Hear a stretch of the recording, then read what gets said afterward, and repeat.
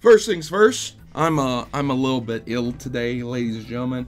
I took yesterday off because of my uh my voice. I, I didn't have a good voice. I wasn't completely mute, but man, it did not sound good. And it doesn't sound good right now. With that said, um, we're gonna start things out with saying that my daughter got the Meowth version of Build-A-Bear. Now this is a this is a pretty decent Build-A-Bear. All right, I'm gonna go ahead and show you how nice Build-A-Bears are these days. Okay, this is the Charmander one. I bought this one for her last year, but you can see how far they've come. This Charmander, it, it looks like it got the short stick when it comes to genetics. All right, it's not looking so great. T 10 out of 10 effort, there's no questioning this. This was one of the original, long time ago Charmanders. It's been quite old, probably over 20 years old, okay? This is the Build-A-Bear Charmander. Looks really good. 10 out of 10. Awesome. Got got the long stick on genetic superiority. Now, this is Meowth. This is Meowth. Cool Team Rocket shirt. Even has Jessie, James, and Meowth right here on the bottom. You can see that. That's really, really cool. Uh, there's just one tiny, minuscule, little problem. Uh, its coin is attached at the bottom. So instead of this Meowth looking like a Meowth, it looks like a unicorn version of Meowth. Who said that this was a good idea? Who approved this? Seriously, this is uh, this is horrible. But aside from that, it's a it's a pretty good Meowth. Just, just why, why, why didn't you attach it in the center here? Why? Having said that, let's jump right into the news. Today, we're talking about the eShop being down for Christmas, but it's still down due to the influx of new Nintendo account and network IDs, which is really unfortunate because a lot of people got Nintendo Switches for Christmas. This isn't any surprise because, as aforementioned, a lot of people got Nintendo stuff for Christmas. But this does affect the 3DS also. This affects the iOS and Android store. This affects any PC logins. And this affects, of course, the Nintendo Switch as well. So if you were looking to get on the eShop and download some cool games, don't worry about it. It's not your software. It's not your hardware. It's not your specific things. It is literally um, an influx of a lot of people connecting in. So, uh, what Mario Odyssey Breath of the Wild developers thought about each other's games has come out. A lot of people highlighted this and talked about this and said that this was very interesting that these producers of both Zelda Breath of the Wild and Mario Odyssey talked about each other's games. One of them said, Hey man, you know, I really like the 3D to 2D sections where you, you go in and you instantly go into a side scrolling portion on Mario Odyssey. That was a big thumbs up. He really, really liked that. It reminded him a bit like uh, Zelda with the curve and walk around walls that would be a Zelda, the newest Zelda for the 3DS, uh, a Link Between Worlds, I believe. And that was pretty cool. And then the other one was talking about uh, Mario being able to implement so many ideas that they were kind of jealous. That was jokingly, though. You know, you know what I mean? Like, man, I really wish I could implement that idea in Zelda, but it just wouldn't work because people won't accept it. That's how it is. That's how Zelda is. But they, they did say that their favorite part was being able to climb atop mountains, the highest mountain in Zelda. So you can check out this interview. It is with uh, Eiji Aonuma and the producers of Super Mario uh, Odyssey as well. Um, Yoshiaki uh, Koiz- Kazumai, Kazumai. I'm not not good at pronouncing names. I've said this a million times, but all due respect to them for creating those great games. Devil May Cry Mobile is a game that has been announced for China. Um, this is apparently an RPG action RPG specifically. So it's not it's not the Devil May Cry you might know about. This um this is an interesting uh, game. It's called Devil May Cry Pinnacle of Combat, and it will be uh, published soon in 2018. It's a China release. No word of international releases. Weird, very very strange. Uh, I'm not sure if it's if it's going to be an adventure type of RPG. From what I can see from the photos, it looks very similar to that.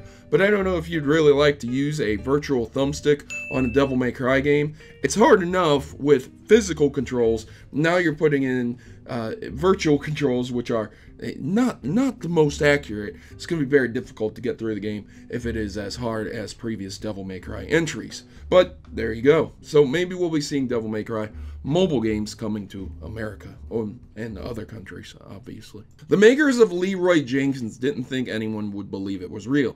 If you didn't know, a long time ago there was World Warcraft game that was really, really popular. It's still popular today, but about 2005-ish is when this was popular, almost 12 years ago.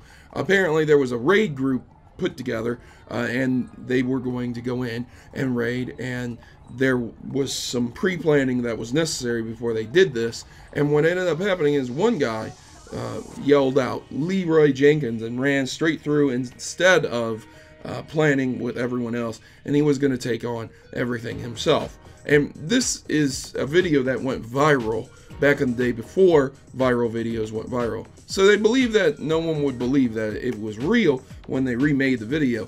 What ended up happening, why they ended up remaking and remastering this thing, was due to the simple fact of net neutrality coming out. Because when they originally put this out, because of how much bandwidth their server got for the video itself being so viral for people watching it and wanting to join their clan and, and check it out and check out the video and the bandwidth usage, because of the viral video, what ended up happening is that the ISP the internet service provider sent them a nasty email saying that their usage was ridiculous and at this point in time it was out of their hands they said that the video was already everywhere. And a lot of people uh, well you know a lot of people had seen it and the isps weren't happy with them. So basically they're correlating and relating this to what will happen with net neutrality if you don't uh, you know take a stand for net neutrality that the isps will cut you basically. So you can check into this story and look at it, and it's uh, it's it's a pretty good story. I like it. Hackers say that Nintendo Switch's uh, latest firmware update removes the secret golf game. This is true. It's been replaced with garbage code, so you cannot launch it manually. You cannot hack into it. Garbage code will not launch the uh, game itself, which is unfortunate. The game is still there, it's just not launchable. So I don't know what's up with that. Maybe they're implementing the ROMs and the emulation, the arcade games, the Mario verses that has recently been touted and talked about. Maybe it has to do with that. Maybe it doesn't. So there's that. Thousands of people were watching Overwatch's Jeff Kaplan sit motionless in front of a Yule log. Yes, this was a thing. There was a stream where Jeff Kaplan was sitting in front of a Yule log burning with cookies and milk off to his side. Now, a lot of people had picked up on it being a loop several times, where there were places where it would loop over and over again. Some people didn't like that it was on a loop and they started dropping off, but there were things that did happen throughout the stream that changed stuff. A lot of people were saying hashtag free Kaplan, uh, free Jeff, things like that. And then at the end, he, he basically broke down and was talking about how that the cookies were not even real, that the milk had probably become poisonous and things like that. And I, I, I don't know. This this is entertainment, ladies and gentlemen. 2017, the end of the year, and thousands of people were watching a guy sit in front of a fireplace just because he was the producer or or head guy over at Overwatch. Uh, essentially, is what it boils down to. Because he was a popular star, people were watching him. That's that's about all there is to the story. So Gaming disorder is now officially a mental condition, according to the WHO. You might be asking yourself, the WHO? You mean the band? No, no, not not them. Uh, the WHO is actually for the disease control and humanitarian emergencies. That would be the CDC, Center of Disease Control. That's essentially what it boils down to. So the behavior pattern is sufficient for severity to result in significant impairment of personal, family, social, educational, occupational, or other important area functioning. That's what the draft of this reads. And the gaming behavior and other features are normally evident over a period of at least 12 months in order to diagnose and be assigned. Although the required duration may be shortened if all diagnostic requirements are met and the symptoms are severe. Basically, what they're saying is that if you're addicted to video games and it is causing you serious harm in your life, you might be able to appeal this to your insurance providers and get coverage for therapy to become unaddicted to these video games. I am telling you right now, this is going to be ripe with abuse. If alcohol addiction could be ripe for abuse, this definitely can be abused. And my God, how many people are going to abuse this? I'm going to tell you it's probably going to be removed by the end of this. I can almost guarantee you that the insurance companies aren't going to cover this for almost anybody. You you probably have to have some of the best insurance in the world to get this covered. Uh, therapy for video game addiction is something that is serious. You know, if you're you're seriously addicted to video games, I sympathize with you and I empathize with you. But loving video games and having it as an, a hobby, this is what you do. You don't watch TV, you don't play football, you don't go to sports bars, you, you play video games. This is what you do. You like video games. There's nothing wrong with that. There is nothing at all wrong with that.